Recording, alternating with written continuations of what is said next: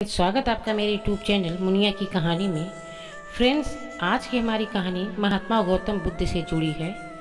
परमात्मा कैसे दिखते हैं? आत्मा कैसी होती है? मरने के बाद लोग कहाँ जाते हैं? इसी से जुड़ी कहानी है।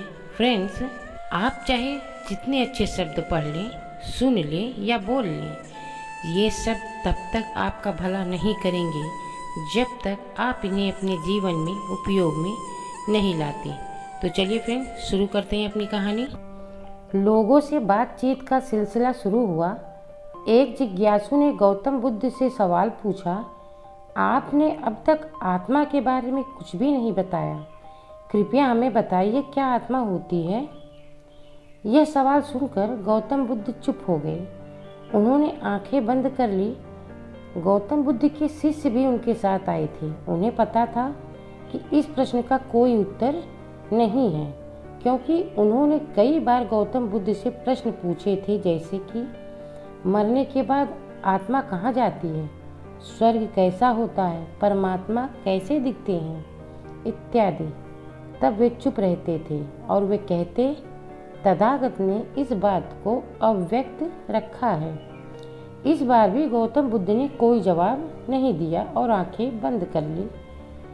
कुछ क्षणों में उन्होंने आँखें खोली और वहाँ उपस्थित सभी लोगों को संबोधित करते हुए कहा, यदि किसी इंसान को तीर लगी हो तो वह पूछेगा कि तीर चलाने वाला कौन था? किस कमान से उसे चलाया गया था? तीर किस धातु का बना हुआ था? तीर पर कौन सा जहर लगा हुआ था? इस जहर से कितनी जल्दी मृत्यु होती है? पहले यह जानकारी लाओ फिर तीर निकालो। नहीं, पहले तीर निकालने का प्रयास करना चाहिए।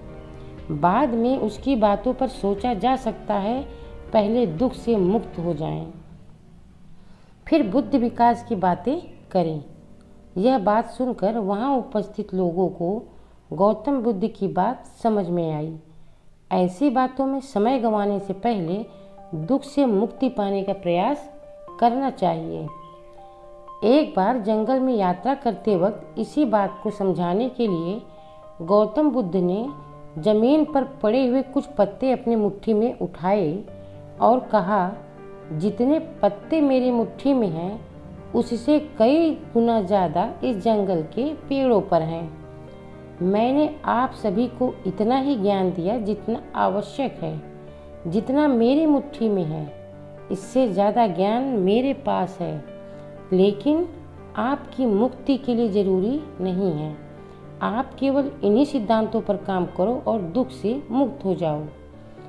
बेकार की बुद्धि विलास में न उलझो और समय का सदुपयोग करो। यही ज्ञान आपको मुक्त कराएगा। इस प्रकार भगवान बुद्ध ने पहला बोध अपने पाँच साथियों को दिया और उसके बाद वे चारों अपने साथियों के साथ सत प्रसार में निकलते हैं। फ्रेंड्स, महात्मा गौतम बुद्ध की प्रेरणादायक कहानी यहीं पर समाप्त होती है। आपको कैसी लगी? कमेंट करके ज़रूर बताइए।